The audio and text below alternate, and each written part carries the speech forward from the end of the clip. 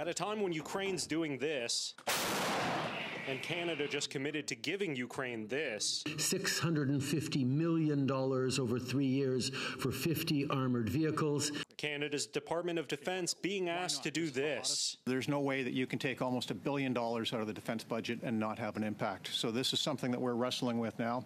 A billion dollars in cuts. The total defense budget around $26.5 billion. But Canada already isn't hitting our NATO spending target of 2% of GDP despite recommitting to the target recently. We are looking very carefully at, at expenditures.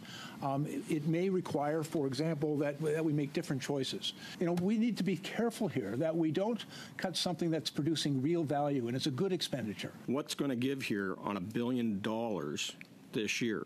And how are we going to deal with the threat environment that we're in if we're going to continue to cut rather than invest in our Canadian Armed Forces. But money is just part of the picture. Canada's short over 16,000 regular and reserve forces members, and Russia's war against Ukraine is showing what modern militaries really need isn't drones or smart bombs, it's 155 millimeter artillery shells. Senior generals say every NATO nation is failing to scale up production to support Ukraine, and our own supplies are looking short. If we were to consume munitions the same rate that we're seeing them in Ukraine, we would be out in some cases in days, uh, and it would take years to re, uh, restock. In Ottawa, Xiaoli Li, City News.